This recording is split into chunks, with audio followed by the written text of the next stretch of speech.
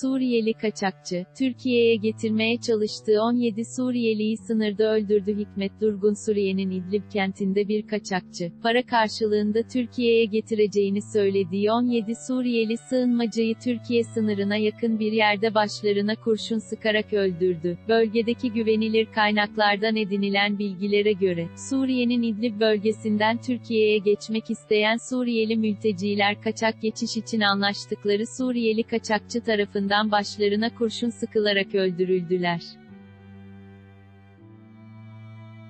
Aralarında kadın ve çocukların da olduğu 17 kişi vuruldukları yerde hayatlarını kaybettiler. İdlib'in Darkuş bölgesinden kaçak yollarla Türkiye'ye geçirmek için sığınmacılarla anlaşan Suriyeli kaçakçı Muhammed Ahmet Sattuf, 17 kişiyi katletti. İki gün önce sivilleri üçer kişilik gruplar halinde sınırdan geçiren kaçakçının, geçirdiği kişileri soyup öldürdükten sonra da cesetlerini dağda ormanlık bir alana attığı ve öldürdüğü kişileri cep telefonuna kaydettiği öğrenildi. Sığınmacıları Türkiye'ye getirmek için hepsinden toplam 3000 dolar alan kaçakçı, söz konusu sivilleri Türkiye sınırına yakın bir bölgede öldürdü. Kaçakçının sığınmacıları öldürdüğü görüntülerin ise sosyal medyada paylaşıldığı öğrenildi.